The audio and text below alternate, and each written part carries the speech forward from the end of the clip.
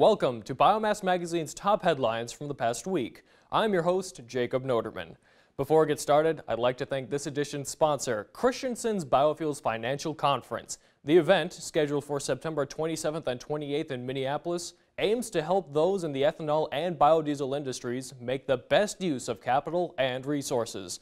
Attendees will learn how to create a well-managed plan for growth and change that maximizes profitability while ensuring future stability. The conference is produced by Christianson PLLP and organized by BBI International. Visit biofuelsfinancialconference.com for more information.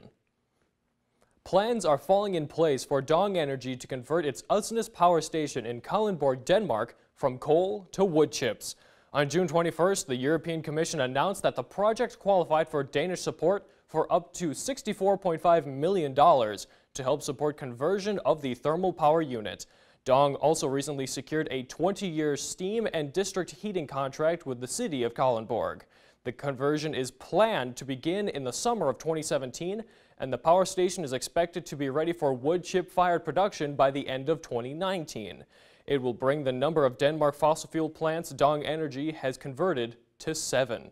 According to a new report from Wood Resources International, wood pellet imports to Asia reached an all-time high in the fourth quarter of 2016, when Japan and South Korea together imported 630,000 tons of pellets. Although import volumes to Asia were down slightly in the first quarter of 2017, they were still over 40% higher than in the first quarter of 2016. South Korea is by far the main destination for pellets in Asia, according to WRI, and in 2016, the country was the world's third largest importer of pellets, trailing only the United Kingdom and Denmark. Consumption of pellets in Japan and South Korea has increased quite rapidly the past four years because of new government requirements which favor reducing carbon emissions and increasing the usage of renewable energy.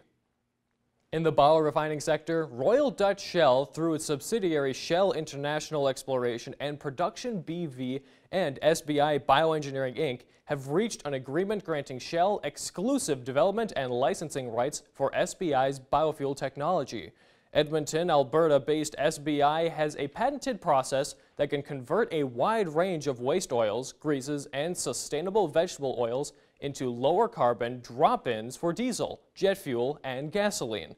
Under the agreement, Shell and SBI will work together to demonstrate the potential of the technology and, if successful, scale up for commercial application. On Capitol Hill on June 21st, Democratic leaders in the House Energy and Commerce Committee sent a letter to U.S. EPA Administrator Scott Pruitt asking him to detail policies and procedures the agency has put in place to prevent Carl Icahn from influencing the EPA's position on the renewable fuel standard for personal financial gain.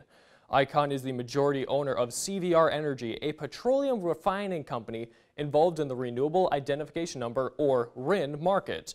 In late December, he was also named as a special advisor to President Donald Trump on issues related to regulatory reform.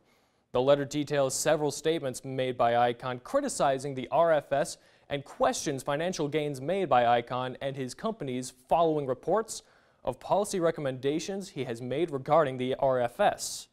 According to the letter, CVR saw shares rise 10% the day after Icahn was named as a special advisor to the president. The letter is the latest in a series of actions by federal lawmakers seeking answers to Icahn's role in setting RFS policy. Thanks for tuning in. We'll be back next week with more of the biomass industry's top stories.